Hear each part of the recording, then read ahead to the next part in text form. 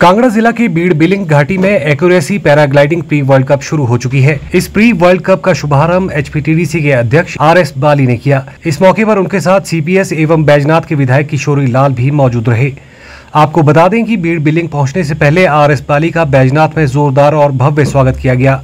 इस प्रतियोगिता में 10 देशों से 103 प्रतिभागी भाग ले रहे हैं, जिनमें 13 महिला प्रतिभागी भी शामिल है। इस एक्यूरेसी प्री वर्ल्ड कप में आर्मी के जवानों ने भी भाग लिया है।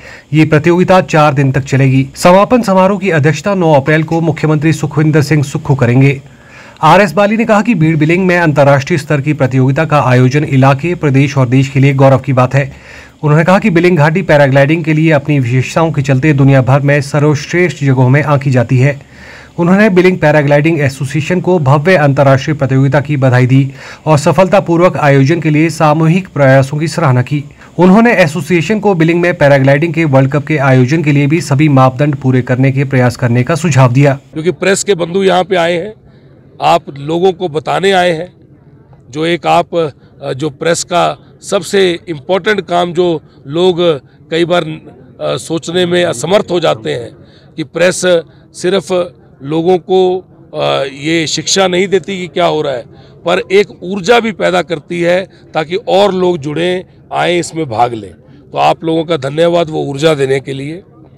नंबर ऑफ़ टोटल पायलट जो है इस accuracy paragliding pre world cup 2023 में 2023 में वो 142 है 142 है।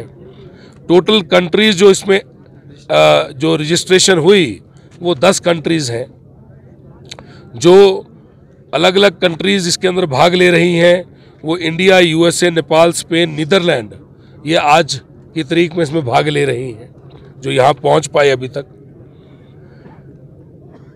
जो फीमेल 100 103 103 लोग पायलट हैं जो फ्लाई कर रहे हैं। बहुत बड़ा आंकड़ा है।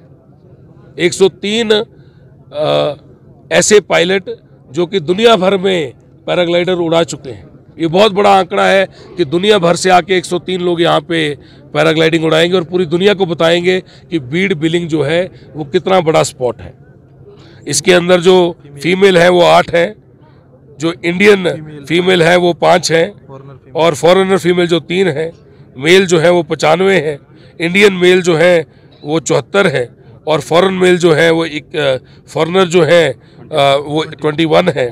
इसमें आर्मी इंडियन आर्मी के जवान जो हैं और इंडियन आर्मी से जो ताल्लुक़ रखते हैं वो दस हैं। नेवी से जो ताल्लुक़ रखते हैं वो एक है। एयरफोर्स से जो ताल्लुक़ रखते हैं वो एक है और पैरामिलिट्री से जो ताल्लुक़ रखते हैं वो पाँच हैं। ये बहुत बड़ी चीज़ है। मैं आप सबको शुभकामनाएँ देता हूँ। और आज, क्योंकि मैं टूरिज़्म से मेरा ताल्लुक़ है, मेरा विभाग है, और टूरिज़्म विभाग में मैं मेरे को दायित्व दिया है तो टूरिज़्म की तरफ़ से डी साहब भी आए हैं। मैं चाहूँगा कि और इसके अंदर टूरिज़्म के क्षेत्र में हम क्या कर पाए, उसकी पॉसिबिलिटी भी देखें। और टूरिज़्म हमेशा इस इवेंट के साथ खड़ा हुआ है। इस बार भी टूरिज़्म मेन स्पॉन्सरर भी है इस इवेंट का। और हमेशा मैं चाहूँगा कि ऐसे इवेंट्स को टूरिज़्म और आगे लेके जाए और हमेशा की तरह इसको आगे स्पॉन्सर करें। मैं और चाहूँगा कि यहाँ पे कुछ जगह का भी एसडीएम साहब आप पता करें ताकि यहाँ कुछ बनाया जा सके। अगर फॉरेस्ट के पास भी जगह है तो अगर वो एनओसी दें तो इसके ऊपर काम करें।